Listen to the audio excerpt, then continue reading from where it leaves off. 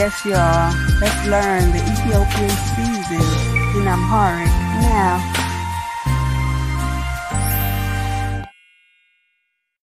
Seasons. Weketoch. Weketoch. Weketoch. Spring is called Sede. Sede.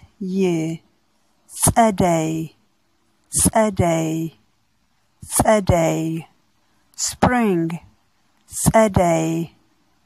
Spring in Ethiopia will begin on March 20th and will end on June 21st. Summer. Summer is called Bega, Bega, Bega, Bega, Bega. Summer. Bega. Summer in Ethiopia will begin on June 21st and will end on September 23rd. Fall or autumn is called Belg. Belg. Belg. Belg. Belg. Fall. Belg. Autumn in Ethiopia will begin on September 23rd and will end on December 22nd. Winter is called Kremt.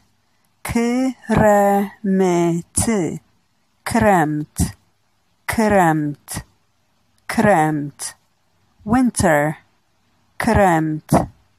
Winter in Ethiopia will begin on December 22nd and will end on March 20th.